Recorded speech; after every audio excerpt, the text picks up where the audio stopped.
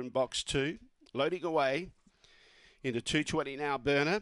Talmadge has been a uh, drifter, 225 out to 310.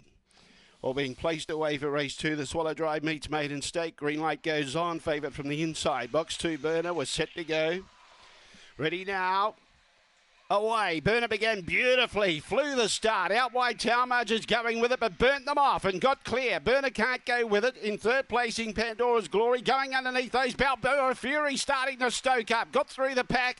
Winslow Lodge at the tail end of the field. Talmadge in front, but here comes Balboa Fury looming up on the outside. Talmadge still in front. Got a kick. Balboa Fury won't quite get there, I don't think.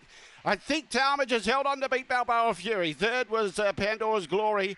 Burner behind those at the tail end of the field, and in front of it was Winslow Lodge, and the time around 23.60. Ding Dong Go and the bobbing. Leave it up to the judge. I thought there was a margin for Talmadge on the inside, but Balboa Fury has got a bob in here.